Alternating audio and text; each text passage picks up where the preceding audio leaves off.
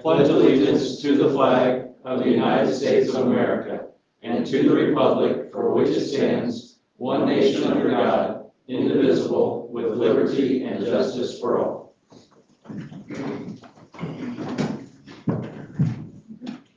Welcome, everyone. Um, Future board meetings, our next board meeting uh, on March 8th will be at 5 instead of 6 to accommodate the awards banquet that we usually do in the first meeting of March. Uh, March 22nd at 6 PM, and then in April, we're already going to meet on the 26th. That's also at 6 PM. Revision agenda, we have a couple under HR and one under recognition, and we'll get right to the recognition. Public recognition, we have a recommendation to approve a five hundred dollar donation from Zoomers RV of Indiana for Sharp Creek Robotics Program. I move That's it to, on, I'm sorry, go ahead. I said, and that's it on the donations. I move to accept the donation. I'll second that. Motion and second to approve the donation, all in favor say aye. Aye. School recognition, Mr. Snyder. Can I, go? how about if I go first? Sure. And then I'll let Mr. Snyder do his, and Okay. then we'll do our main event with our spotlight tonight. All right. So, um, I have quite a few, and I don't know if I'll read every single name, but if I do, I apologize if I mispronounce some of them, but we'll start out Southwood. Um, we'd like to recognize, uh, Benjamin Rodebush, two thousand nineteen Southwood graduate for being named to the president's list for the fall twenty twenty-one term at Trine University. Rodebush is majoring in computer science and information technology to earn President's List honors. Trine University students must complete a minimum of 12 hours and have a grade point average of 3.75 to 4.0. So way to go, Ben. And from Miss Nee um, at Southwood. Congratulations to the students listed um, below for making the 2022 Wabash County Honors Band. These students will perform at the Honeywell Center in the Ford Theater on March, Friday, March 11th at 7:30 PM, alongside other selected students from Northfield, Wabash, and Manchester. Please make sure you congratulate them when you see them in the hallways in class. And I won't read all those at this time, but we do um, make these, uh, they go to the, the media and they will um, print all those out. Also, I will go to Southwood is very proud to announce that Xavier Miller, 2021 Southwood graduate, recently successfully completed his field training exercise and received his cross rifles from the Army. Way to go, Xavier. And then from Miss Nee, uh, also a long list and successful day at the vocal, vocal solo and ensemble district contest. The students did a great job and represented Southwood Junior Senior High very well. If you see any students listed below in the class or the hallways, please make sure you congratulate them. We ended up with 14 golds and three silvers. So I will read um, the ones that earned the gold here. Emma Adams, uh, Sylvia Bacorn, uh, no, there we go. Brinley Galvin, Jordan Hartline, Fritz Kurt, Emily Lockard, Mackenzie Mormon, Caitlin Knight, Lindsay Silvers, Sarah Smith, Natalie, uh, Natalie, and doesn't do very well. And Zora Watkins. And so earn a gold rating in group one will be attending state. And so these are uh, large ensemble, Adams Ensemble, there's several of those, and also the Ingle Ensemble-. And we had several that uh, earned the silver, and then we had a perfect score by Miss Watkins um, for getting a perfect score on her vocal solo this afternoon. And it is very hard to get uh, perfect in those. And she'll be moving on then uh, to state next week at Perry Meridian. Uh, On Friday, February, oh, that's yours. Have one more for Southwood before we go to Mr. Southwood was represented by Sarah Smith, Lindsay Silvers, and Caitlin Rank at Saturday's um, ISMA Vocal State Cons uh, Ensemble Contest at Perry Meridian High School. All three girls did an outstanding job in their respective solos and earned a rating of either gold or gold with distinction. So awesome job there. Metro North Elementary. On February the 11th, we had the second Metro North Valentine's Day VIP breakfast. We had over 525 guests. Enjoy a delicious breakfast with their Valentine's. Breakfast was prepared by our amazing uh, Metro North cafeteria staff and our Metro North teachers helped with serving and hosting. Thank you to all who helped make this morning so memorable for all of our families. Um, Also, um, after final round of judging, four of the six Metro North finalists have been awarded the Gold Ribbon Award for their Symphony in Color artwork. This is the highest honor given, and only 36 gold ribbons were awarded from all of the statewide submissions. Congratulations to Millie Siders, uh, Ava Mills, Faith Greer, and Heather Zwiebel. In addition to Metro North and Sharp Creek students receiving these accolades for their hard work, Mrs. Katie Gray, our Metro North and Sharp Creek art teacher, will receive um, another award. This award is presented every year to an art teacher with the most students receiving gold ribbon awards. So that's quite an honor. Mrs. Gray has 10 students receiving this distinction. I should also note that she submitted 12 pieces of student artwork. Congratulations to Mrs. Gray. Also at Metro North, robotics team had their last regular competition of the season on Saturday, and they were amazing. It was a long day of matches, but in the end, we made it into the finals and placed fifth in a field of 48 teams. Our second graders were competing with other teams that may have sixth grade students, proving that Metro North team can definitely hold their own. The team also received the Think Award, a special recognition from judges that applauds our team's ability to write code, problem solve, work flexibility, and collaborate. So congratulations to all of those. From Sharp Creek, they want to celebrate students um, in different, uh, Ms. Hughes, Madeline Hawkins, Ms. Black, Ms. Leonard, and Ms. Turner, and Tegan Baird, being selected on the 2022 Symphony in Color Contest School Finalists. These six students were also named exhibition finalists, which means that they're in the top 100 statewide. And to top this off, all six Sharp Creek students have earned a gold ribbon award for their artwork. This is the highest of honors for this contest, is awarded to only 36 artworks in the state of Indiana. So congratulations to them, and again, Katie Gray. Sharp Creek raised $2,026 for the Leader Dog fundraiser in the Urbana Lions Club, and adding 500 to that, so the total raise was, it doesn't add up. Hmm. So it might be two thousand five hundred twenty-six, but it says on here two thousand twenty-six. Sharp Creek will be sponsoring three leader dog, uh, dog puppies, Lucky, Snickers, and Jacks. Mrs. Riggle's class raised the most money, and they received an ice cream party provided by the Lions Club. Mrs. Brown's, Mr. Brown's class came in second, Mrs. Ross came in third. The K Kids would like to thank the entire school community for supporting this fundraiser. Sharp Creek would also like to congratulate all of the uh, robotics for the recent strong showings. Uh, Sharp Creek hosted the Wabash County Blended Finals on February 11th. The Blue Norse Bots Team A and Southwood Circuit Knights placed first in the Teamwork Challenge. Additionally, the Norse Bots A won the Skills Award. Uh, Norse Bots, white, gray, and black, all placed in the top four in skills. And so on February 12th, they competed at Mississinewa, and they also did very well there too.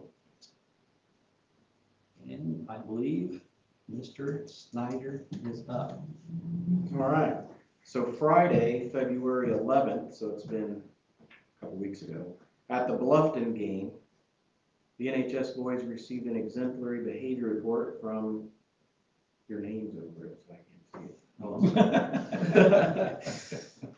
Is it better? Is it off? Anyway, from an official, Beecham, reported the team, including all players and coaching staff, showed tremendous sportsmanship the entire game. Even after being called for violations, they would run over and hand the ball to the official. They were helping opponents up off the floor, very respectful. You can tell that everyone has bought in, as it was through and through the entire team. Hopefully, the fans will see what the kids and coaching staff are doing, which, in light of recent events Sunday, I think it means even more. I mean, they're seeing on the news, you know, coaches smacking other people and starting brawls. And, you know, Northfield hasn't had the most successful season. We're in transition. We're getting better. The kids are playing hard, working hard for their coach, doing a great job. That's good to hear because it's harder to have good sportsmanship when you've had a rougher season than it is when you're winning all the time. And, uh, so I think in light of recent events, that's even more kudos to the high school kids for showing the college coaches and players how to act after games and during games. For Mr. Johnston, the choir teacher, he had choir students participate in the ISMA District Solo and Ensemble Contest on Saturday, February 12th at Carroll High School in Fort Wayne. They earned three gold ratings, four silver ratings. Seventh graders Emma Wilson, Trinity Thorne, and Landon Mast all participated. Landon received a perfect score. Acapella choir members Caden Cruz, Anna Hodson, and Addie France sang an ensemble. Addie France sang a solo, earning a gold rating to advance to the state contest held on Saturday, February 19th. Congratulations to all of them. We also had uh, Northfield students make, make the Wabash County Honors Band and Choir. They'll be playing at Ford Theater on March 11th with all the other Wabash County schools. Those band members are Landon Shu, Claire Thompson, Haley Barton, Turner Stevens, Isaiah Beal, Madison Griffin, Alexis Leffel, John Nestler, Kyle Wynn, and Natalie Keller. We also have the honor choir students joining them, Caden Cruz, Anna Hodson, Addie France, and Jasmine Kelly. And then we had the art teacher entered some Northfield students into the Huntington University Art Show. And they had a high school exhibit there. And a lot of this stuff has been posted on our school Facebook too.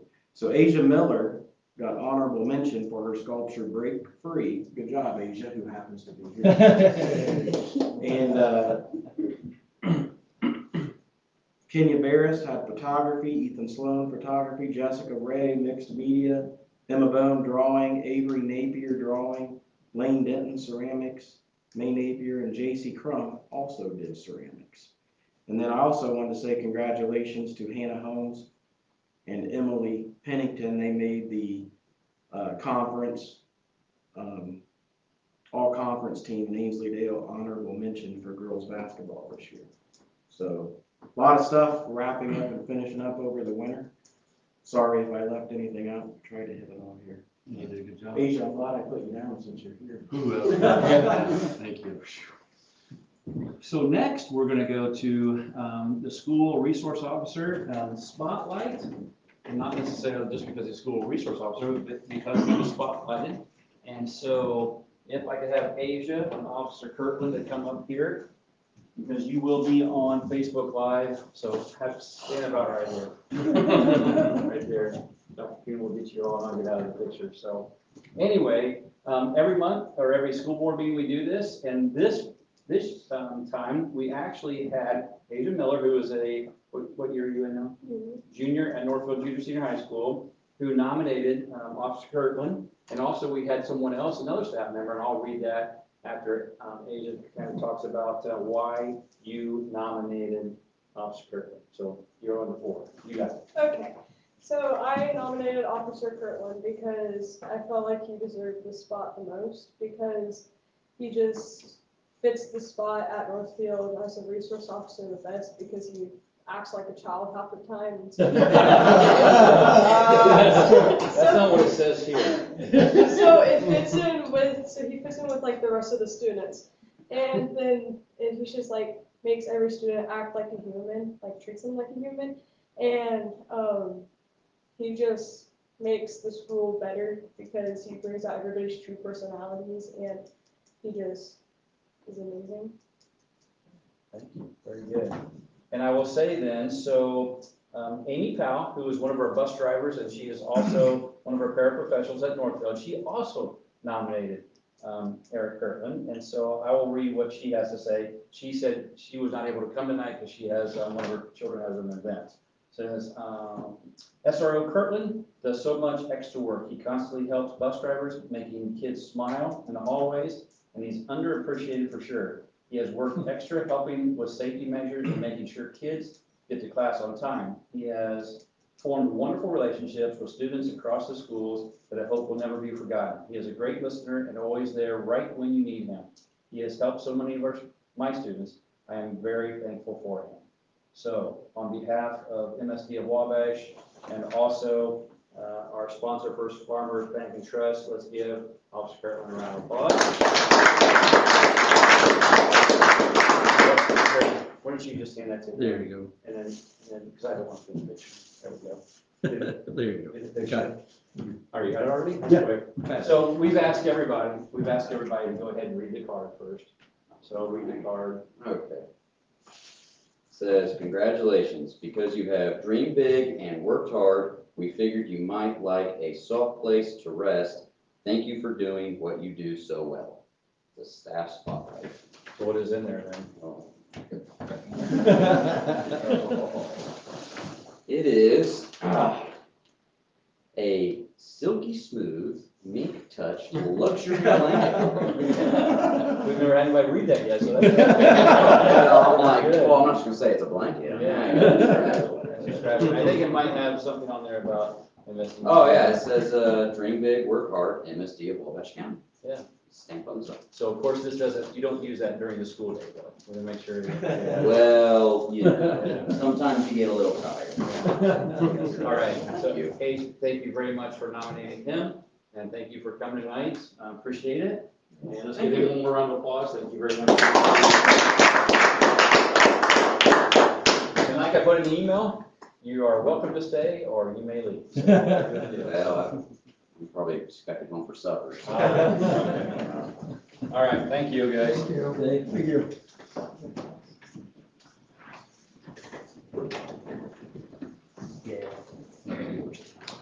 All right, so I think that concludes the public recognition, so we're gonna move on to public comment for agenda items only. and We'll give a minute or so to, half a minute to let Facebook Live catch up, see if anybody's commenting there. There are a couple of comments. Um, I think it's from Amber Bretzman. She wanted to add Sharp Creek Robotics, good news that Team A and Team D won automatic state bids. And so Team D won an excellence award, which is the highest award you can give a team, and Team B won a design award for their engineering notebook. Team A is currently ranked fourteenth in the state out of five hundred and fifty-three teams. And she's afraid she might have left that off what she sent to Mr. Martin, so that might be why she had to share that. Well, so Mrs. Bretzman, that's one that's when you don't, he has it on here, and now that I see that, it's a fun fact that she said, so I appreciate she, her saying all that, because that's something I probably should have highlighted, um, with the other things. There's just a lot of information on that little box. The box. When we do it in Excel, it's a little harder to read all that and scroll back and forth, so. And she also wanted to thank Southwood Elementary for hosting the league this year. She knows how much work it was setting up and tearing down, and she appreciated the hard work of Erica Tyson and Amy Schmidt. All right, we'll move on to the consent agenda items. Um, Need approval of the minutes from our last board meeting on February 8th. So moved. Second. Motion and second to approve the minutes from our last meeting. All in favor, say aye. Aye. Opposed? Claims.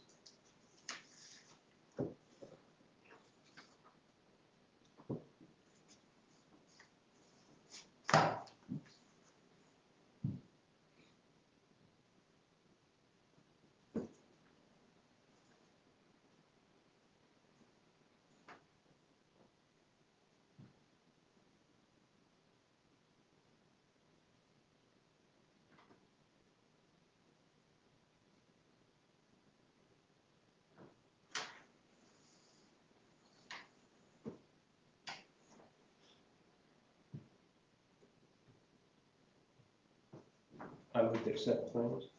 Second. Motion and second to approve claims. All in favor, say aye. Aye. Payroll. Uh, nothing new on payroll. Uh, probably see anticipated, uh, increases, uh, just with the winter sports claims coming in as the season ends. Motion to approve the payroll. Motion and second to approve payroll. All in favor, say aye. Financial summary. So, um, I gave you, uh, a, a first forecast of what the education fund and operation funds cash flow, uh, could possibly look like throughout the year. And obviously, this is something that ebbs and flows each month as things change and come out. And so the education fund for twenty twenty-two currently shows the expenses reflected at, uh, with the estimated cost based off of trends and current teacher contract obligations. It does not reflect any potential wage increase at this time. Um, It also reflects revenue that's estimated based off of past trends. And it also does reflect the basic grant revenue showing September 2021 ADM counts and December special ed counts throughout the entire year. We just recently had uh, an ADM count for February, so that money is not reflected in this, uh, at this point in time, as well as any July estimates that we have to provide to the state that they base our last six months of funding off of. Uh, and then which would also lead to the September actual ADM counts for that year as well. So it's pretty vanilla at this time as far as the cash flow is concerned, uh, and represents, like I said, uh, basic trends from previous years with that. And then for the operations fund, uh, you're looking at similar type of information. Uh, it does, um, not based off of any potential wage increases for expenses at this point in time this year. We are actually looking at, uh, wage increases when it comes to, uh, things that might come out of the operation fund, uh, for our classified and administrative staffs. Um, and then, like I said, most of the uh, other expenses and revenue are just based off of past trends. Will the state adjust us any on the updated ADM? They do, They do, um, okay. they do not do that until, I believe, um, April, May, and June. I think those are the three months that they Reconcile. reconcile the count from February. So that's why it's not reflected currently. Were they gonna do away with that sometime, or we're gonna continue to do that? The second count? you mean? Yeah. The second count, yes. Yeah. At one point, it used to be two counts, then it was one count, and then they went back to two counts, and there's not been any talk or even legislation about Yeah. changing. Okay, And there's been two counts for quite a while, but at first they were just seeing what the counts were, but it wasn't, money wasn't tied Right, to it. right. And then they went to it and they took it away and that was legislated back in, so. okay. Hmm. Chris, there's pretty decent growth in this operations fund projection. Do you see anything where we'd be changing the transfer into the education fund then, or changing that percent? I just wonder. So, uh, as, so there could be room to change that percentage, and what I mean by that is the percentage could possibly go lower, um, from that standpoint. The, the increases that we're starting to see now are because we paid off that self-insurance fund, so our mm-hmm. transfers are no longer like as large as what they were in the past. So that now has freed up our operation fund for more operational type expenses. And we had the energy savings, That came, Yeah, that came up a while ago. you know. So in reality, this can help us continue to do things with our buildings and maintaining some of those areas um, that maybe have been deferred uh, because there wasn't the availability to do that. We were always doing that through bonds. The bonds have helped this some too, though, because of capital project. Because we've been taking, we've been Right. taking those costs out of the bonds. But eventually, some of those are gonna have to go back into the operation fund. It's good.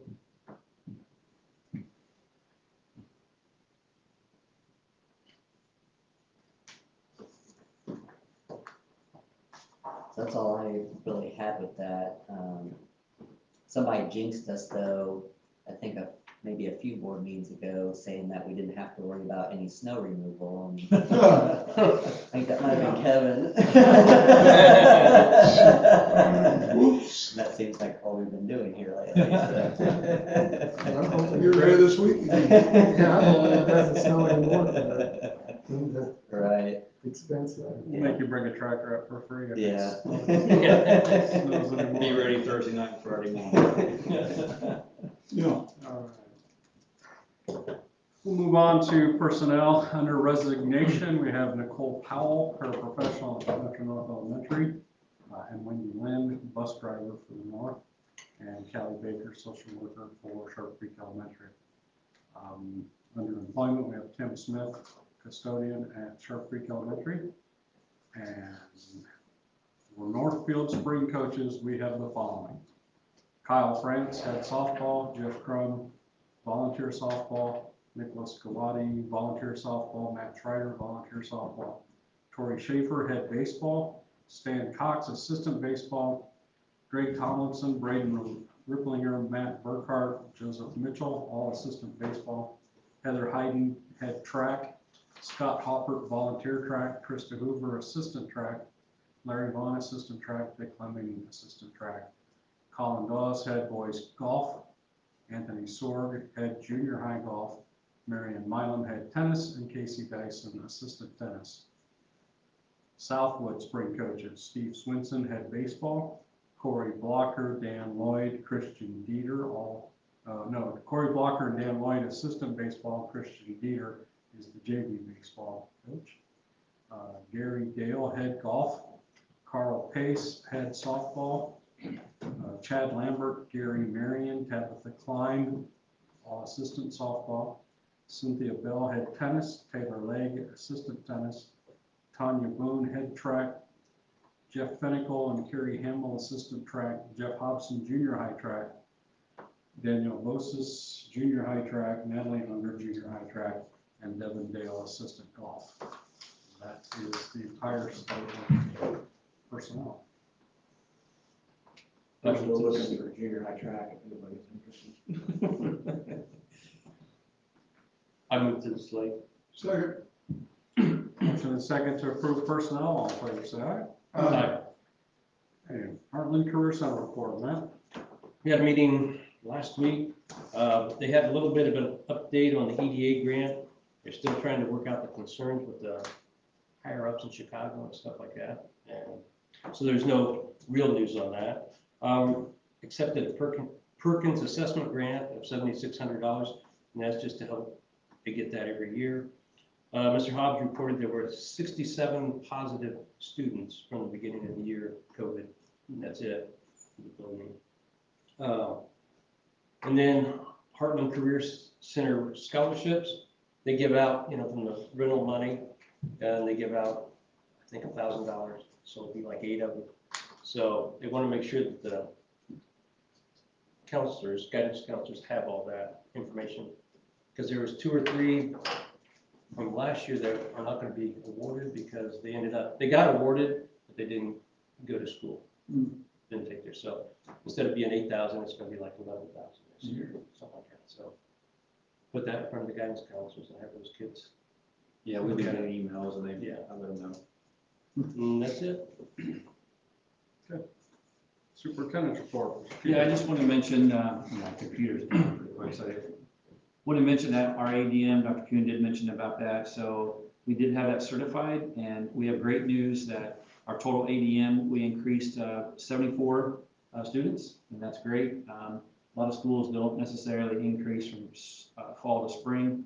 And also then, just to give you a little bit more data, from spring 2021 to spring 2022, uh, we are up 24 and a half. So not only did we increase from fall to spring, we still increased 24.5 from last spring to this spring. So that's very good news. That's really all I had as far as that goes. Curriculum report. Yeah, I shared with you guys an NWEA report. Um, it looked at, yeah, there we go. Um, it looked at kids' test scores from winter of twenty-one through winter of twenty-two. And so this data is actually specific to the kids that took the test. And so all the kids that we have in twenty twenty-two, it only takes their data um, and compares it to the ones in twenty-one. So if somebody came or gone, they aren't included in that. And it's always nice to look at some of the highlights there. So hundred and seventy-four students during that year grew at ninetieth percentile as across the whole entire country. And so um, we're all about growth. We feel like that's the best thing we can focus on. When a kid comes in, we meet them where they're at and help them to grow. And so that's about twenty-six percent, twenty-seven percent of our kids um, grew on either test, reading or math. And then of those, then the thirty-one, this is even more shocking. So these kids grew at the ninetieth percentile, but then they also scored at the ninetieth percentile. So these are your high-flying, high-achieving kids that still grew compared to other students that scored that high. And so um, just lots to celebrate there. Um, I might pause. Are there any questions that all kind of make sense? And this is NWEA data, so we get it back very quickly once we take it. Um, pretty reliable. Everybody feels pretty comfortable with it. And so then underneath that, uh, I try to find classes that do well. And so um, you can see the school and the grade level. And so the entire sixth grade at Sharp Creek, from last year this year, those kids as fifth graders to sixth graders grew at the ninetieth percentile compared to other fifth and sixth graders across the country. And so just some really exciting things down there. And as you scroll down, the reading there in third and fourth grade, lots of growth. And so lots of things to celebrate. Underneath that, of course, there's always things to be concerned about. And we are seeing some issues of reading growth in our primary levels, primary BK one, two, three. And so uh, we are addressing that. Um, We're working with teachers and principals. Um, And it's not, it's not dramatic and it's not scary, but it's just enough to let us know that we've got our work, there's, there's an area that needs some attention. And so one of the strategies we'll use to help support that is, uh, I'm sure Dr. Kuhn or Mrs. Boone, somebody will bring up summer school. I might be speaking ahead of my turn here, but we're gonna offer summer school again for K one, two, three kids, just like we did last year. It was kind of, uh, Mrs. Moore coined the great phrase, it was summer school on steroids. Um, and we're gonna do that again. We're gonna use ESSER dollars to set aside to pay teachers to come in to work with their classes. And we feel like just that extra four or five weeks with those, uh, kids will make a big difference. And so, um, so yeah, yeah, that's the latest update. I don't usually get to share that, so I'm glad I got this time. You find this a lot more reliable than like the ISTEP? Yeah, it's just consistent, right? NWEA's been doing this for probably since Mr. Keyfaber was in school. Wow. Really? Okay, maybe not that long. No, it's been around for forever and, uh, and it's got a huge, a number of participants. I mean, they test across the country. It's consistent. And so, yeah, we do find that very reliable. Um, It's unfortunate it doesn't meet some kind of federal requirements to be a part of the testing, or at least that's how the department interprets it. So otherwise we use that instead of iLearn. Um, and iLearn might be good, but we're only on our second year of it, right? So there's just so much to work out, whereas NWEA's already been there and done that. This is a formative assessment where you actually can form the instruction, whereas the summative at the end of the year is after over, those kids are going to another class and, and all those different things. So um, most schools would say that they would rather have this as their state assessment. Then it turns over quick too. You're not waiting six months. Yeah, yeah, getting it back, so I told you we'd have the data there that says that, and so we're already able to address that now while they're with us, rather than next year when they're wherever. So when you took that test, was that the feather pen and the inkwell? It's actually like a stone tablet.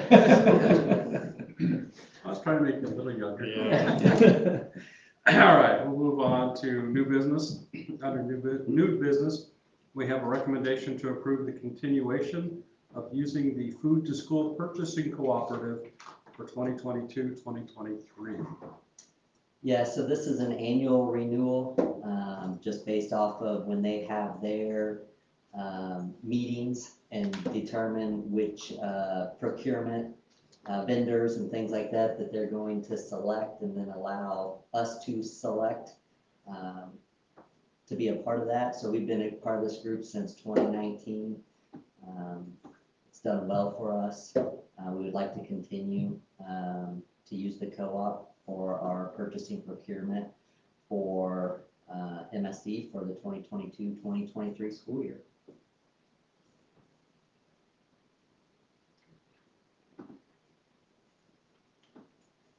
Move to continue on with the cooperative.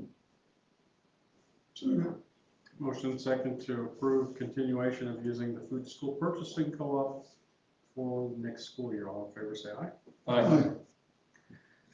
And now we have the recommendation to approve the second update to the reentry plan and supplement 2021, 2022 regarding contact tracing and quarantine. Mr. I'll speak to that. Yes, so first of all, we did have a reentry plan that we started out with. Then we had a supplement to the reentry plan. Then we had an update to both of those. And so that's why this is called the second update to the reentry plan and supplement for 2020, 21, 2020, 2022. Can't say that very well right now. So contact tracing and quarantine. So as it mentioned here, um, the Indiana State Department of Health no longer recommends contact tracing and quarantine in schools effective tomorrow. Um, so it's perfect timing for us to have a board meeting on 2/22/22. I had to say that, that's kind of fun. Um, with this recommendation, MSD of Wabash County will no longer contract trace or quarantine close contacts beginning on February twenty-third, twenty twenty-two, if you approve this. Schools do not need to re- report any COVID-19 cases information to the IDOH. School dashboard will be discontinued, because that's what we've been doing all the time, for a long, long time.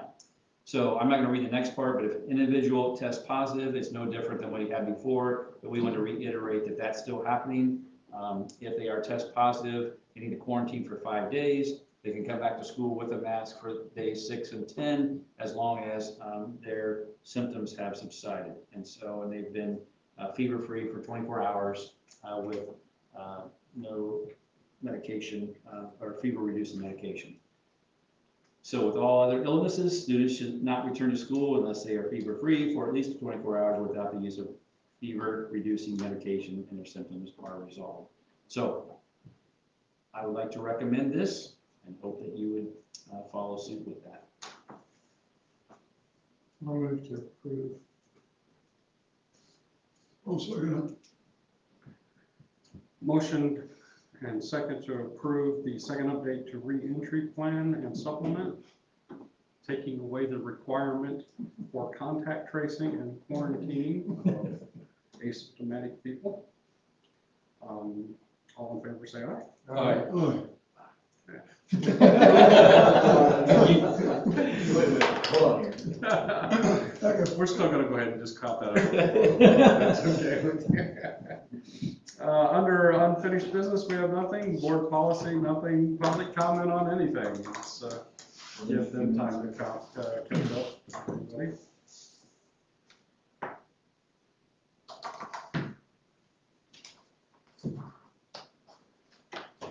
Okay. Public comment there. And any items from board members? Okay, we're adjourned.